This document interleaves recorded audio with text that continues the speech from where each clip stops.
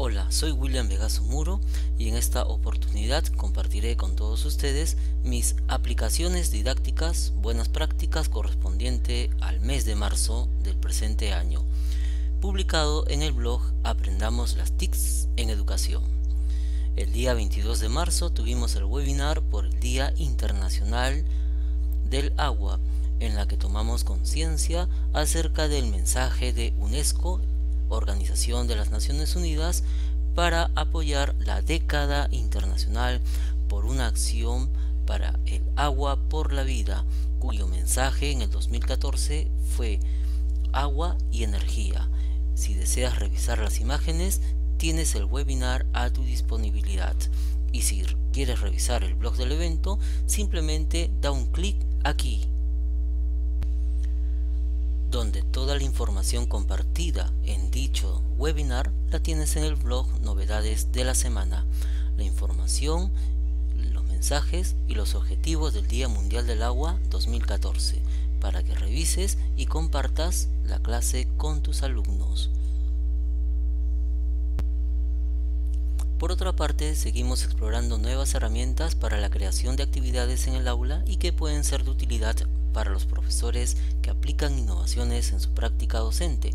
Así tenemos Blend Space, herramienta de autor que nos permite crearnos una cuenta gratis con tan solo nuestras redes sociales del Facebook o de Google para poder realizar actividades utilizando videos. Créate lecciones en 5 minutos, observa los videos tutoriales y si deseas ampliar tu información puedes ver el blog del taller aquí con tan solo dar un clic. Toda la información en el blog Aprendamos Haciendo, Blend Place, creación de unidades multimedia, herramienta que nos permite crear con una sola cuenta del Facebook o del Google Plus y acceder a la creación de actividades online. Los videos tutoriales se encuentran a tu disposición para que puedas aprenderlas y aplicarlas en tu práctica docente. También exploramos una nueva herramienta para quienes se pasan buena parte de su tiempo escribiendo en el computador. Lo más seguro es que siempre estés buscando la manera de optimizar su escritura y ganar algo de tiempo al digitar información. Herramientas que convierten la voz en texto. Para más información, dale clic para ingresar al blog Aprendamos Haciendo y aquí comparto contigo un par de aplicaciones para la conversión de voz en texto. Se trata de Toll Typer y también de Online Dictation.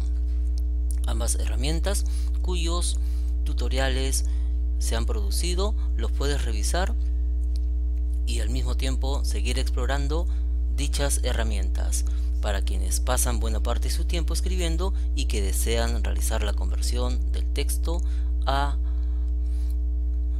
de voz al texto. Muy prácticas, herramientas recomendables. También en nuestras aplicaciones didácticas de la web 2.0 Buenas Prácticas del mes de marzo buscamos una propuesta simple y práctica para complementar nuestras clases con material adicional. Se trata de Educanon. Educanon es una propuesta en la cual tú puedes realizar actividades e incluir videos, cuestionarios y compartirlas en el aula con Educanon. para crear clases interactivas utilizando videos. Educanon te permite agregar videos del YouTube y elaborar cuestionarios. Entérate de la información observando los tutoriales a tu disposición en el blog Aprendamos Haciendo. Desde la creación de una cuenta, selección de videos, establecer asignaciones, redactar cuestionarios, todos los tutoriales a tu disponibilidad. Educanon para crear clases interactivas utilizando videos. Finalmente, el cine ha llevado a la gran pantalla muchas películas en las que se tratan temas relacionados con el mundo de la educación. Recopilamos cinco cortometrajes pensados no solo para trabajar en clase, sino también en casa para educar en valores al alumnado y que reflexione sobre diferentes tipos de valores como la amistad, solidaridad, trabajo en equipo.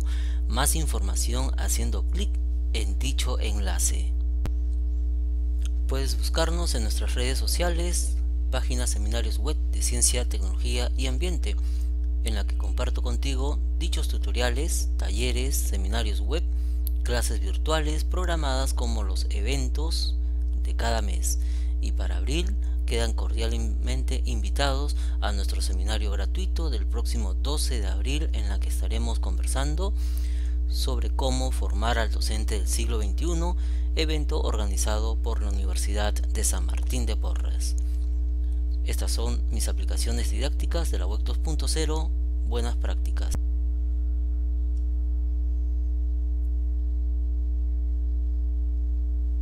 Aplicaciones didácticas, buenas prácticas correspondientes al mes de marzo del 2014.